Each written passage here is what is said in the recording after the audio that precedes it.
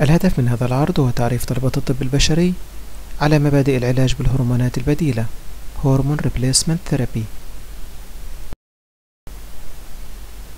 مقدمة عن انقطاع الطمث menopause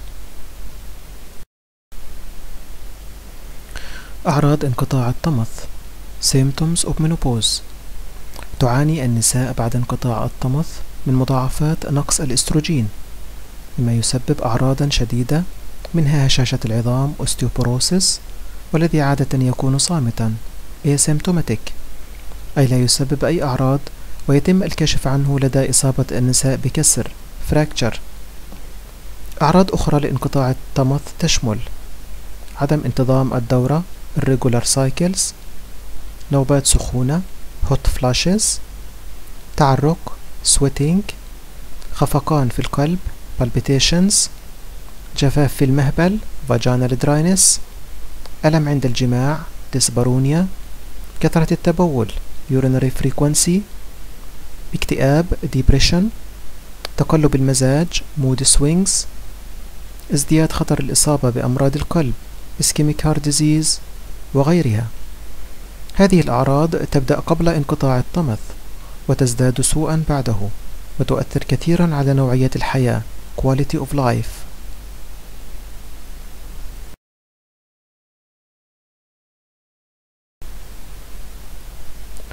لعل شدة أعراض انقطاع الطمث لدى بعض النساء جعل تعويض الهرمونات الأنثوية حلا منطقيا وذلك لتخفيف هذه المضاعفات وخاصة هشاشة العظام الذي قد يسبب كسور fractures لكن المشكلة أن هرمون إستروجين قد يسبب سرطان في الثدي breast cancer لذلك فإن التوجيهات الحديثة حول العلاج بالهرمونات البديلة هرمون replacement therapy تقول إن العلاج يعطى فقط في حالة الأعراض الجسمانية systemic not local المتوسطة إلى شديدة moderate to severe symptoms وفي حالة عدم وجود موانع contraindications.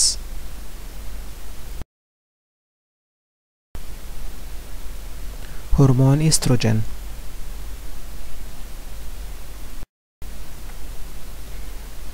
إستراديول هو الهرمون الأنثوي الطبيعي من نوع إستروجين الذي يفرزه المبيض ovary. لكن تتوفر الكثير من أشكال الإستروجين المصنع synthetic estrogens والتي تستعمل لعلاج أعراض انقطاع الطمث ودواعي أخرى. من أنواع الإستروجين نذكر الآتي إستراديول estradiol valerate ethinyl estradiol و combined equine estrogen CEE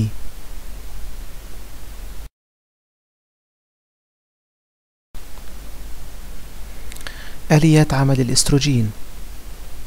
يكون الإستروجين في الدم مرتبطا مع بروتين يدعى جلوبولين عند وصوله إلى الخلية الهدف target cell يرتبط إستروجين مع مستقبل خاص موجود داخل سيتوبلازم الخلية intracellular receptor. ثم ينتقل مركب الإستروجين مع المستقبل. estrogen receptor complex إلى داخل النواة حيث يؤثر على منطقة في الجينات تدعى المنطقة المستجيبة للإستروجين estrogen responsive element حيث يؤثر على نشاط جينات معينة وبالتالي يكون بروتينات تعبر عن أثر الإستروجين على الخلية estrogen action.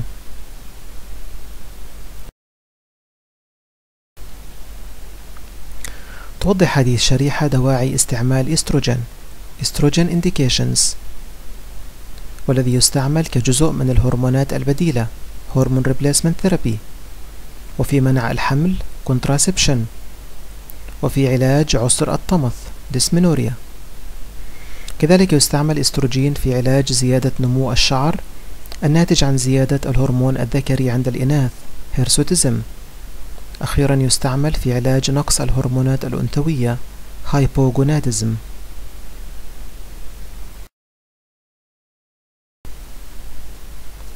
هرمون بروجسترون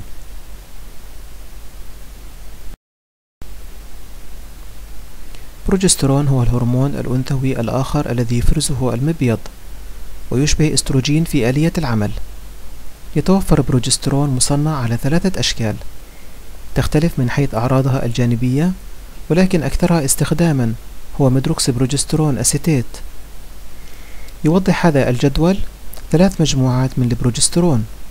المجموعة الأولى هي pregnanes وتشمل medroxyprogesterone acetate الذي يشبه البروجسترون الطبيعي من حيث الأثر ولكنه يسبب أعراضا مثل زيادة نمو الشعر وظهور بثور ذكورية acne and hirsutism المجموعة الأولى هي مجموعة estranes والتي تشمل nortestosterone وهي تسبب أعراضا جانبية ذكورية androgenic side effects بشكل كبير.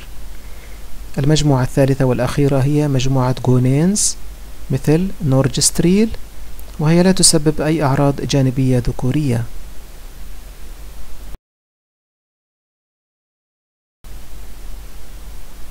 توضح هذه الشريحة دواعي استعمال بروجسترون بروجسترون indications والتي تشمل استخدام بروجسترون كجزء من الهرمونات البديلة hormone replacement therapy وكجزء من أدوية منع الحمل contraception pills. وفي علاج عسر الطمث dysmenorrhea وفي حالة وجود خلايا بطانة الرحم endometrial tissues خارج الرحم. وهو مرض يسمى endometriosis.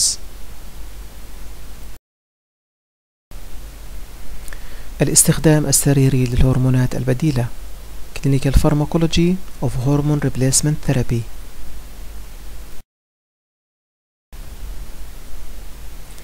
تتوفر الهرمونات البديلة على عدة أشكال. بعضها موضعي topical وبعضها جسماني systemic.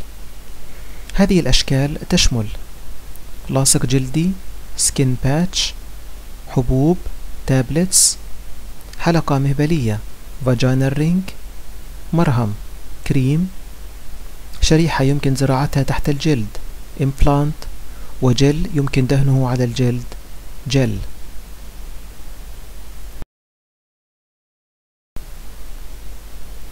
وسائل حقن الهرمونات البديلة routes of HRT administration. إما أن تكون موضعية topical مثل مرهم مهبلي vaginal cream أو حلقة مهبلية vaginal ring. أو جسماني systemic مثل حبوب أو لاصق جلدي skin patch.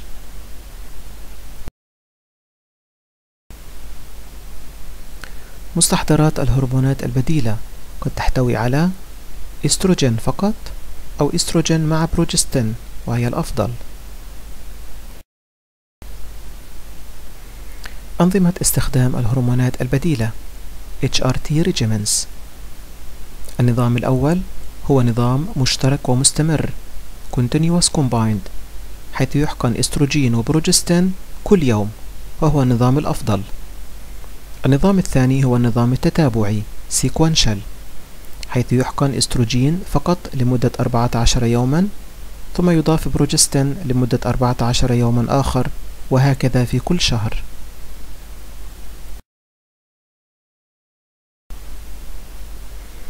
على الطبيب المعالج التأكد من درجة شدة الأعراض.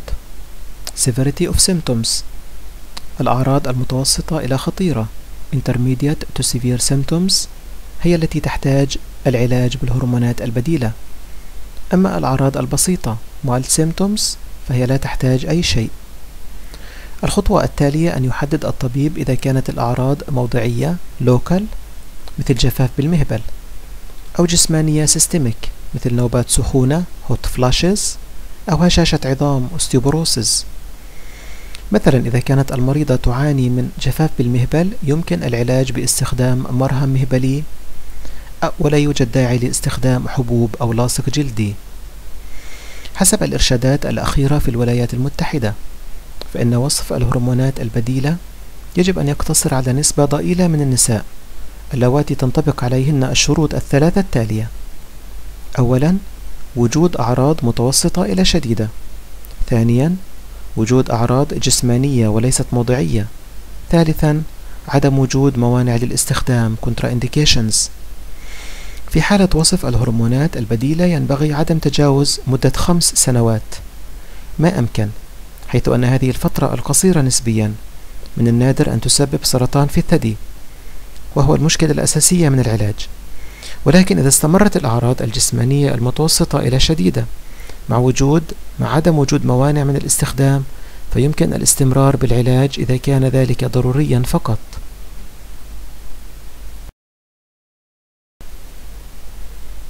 ملخص العلاج بالهرمونات البديلة للنساء بعد انقطاع الطمث. إذا كانت الأعراض جسمانية ومتوسطة إلى شديدة ولا يوجد موانع للهرمونات contra indications قم بوصف HRT لمدة خمس سنوات. إذا استمرت الأعراض وكان هناك خطر من حدوث من حدوث هشاشة عظام. ولا يوجد موانع للاستخدام. قم بوصف HRT لفترة أطول.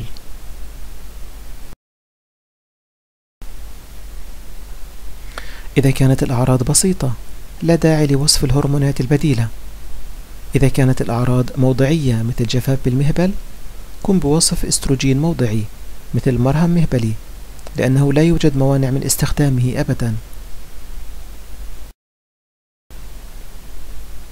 الأعراض الجانبية للهرمونات البديلة.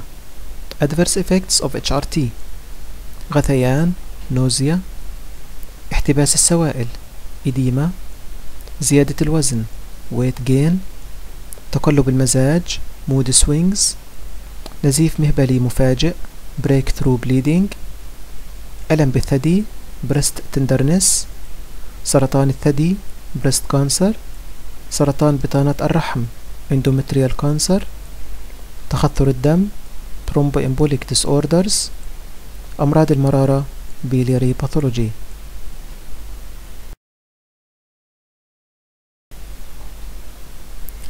توضح هذه الشريحة موانع استخدام الهرمونات البديلة Contraindications of HRT والتي تشمل وجود تاريخ من سرطان الثدي History of breast cancer وجود تاريخ من سرطان بطانة الرحم History of endometrial cancer Porphyria أمراض الكبد النشط الشديد Active severe liver disease زيادة شحوم الدم Hypertriglyceridemia أمراض تخثر الدم Thromboembolic disorders وجود نزيف مهبلي غير مشخص undiagnosed vaginal bleeding مرض endometriosis والأورام الليفية fibroids